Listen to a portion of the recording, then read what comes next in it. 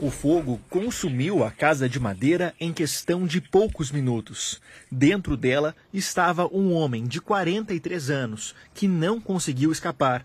Um vizinho tentou resgatá-lo, mas quando chegou até a porta em chamas, já não tinha o que fazer. Ele tentou abrir a porta para tentar salvar ele. Ele por várias vezes chamou o nome do Kiko e não conseguiu. Daí não, tove, não teve êxito, ele arrombou a porta, mas como o fogo veio até ele, não tinha mais o que fazer, ele já tinha entrado em óbito. A casa estava desocupada há cerca de um ano e meio e durante este período o homem, identificado como Kiko, de 43 anos, passou a utilizar da estrutura, isso com autorização do proprietário. Os vizinhos desconfiam que as chamas tenham começado a partir de uma vela que ele costumava utilizar. De acordo com a Daiane, as velas eram acesas para que ele pudesse manter o hábito da leitura. A gente já tinha comentado com ele a respeito das velas, que era perigoso, nós já tinha comentado com ele em puxar uma rede de luz para ele aqui.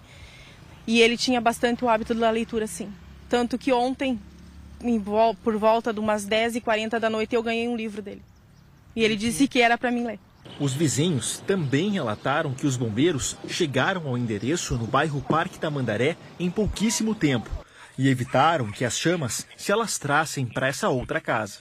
Ficou bastante aflito, até por causa que a casa também é de madeira, né? Então se, é, seria bem arriscado ter pego fogo na nossa casa também.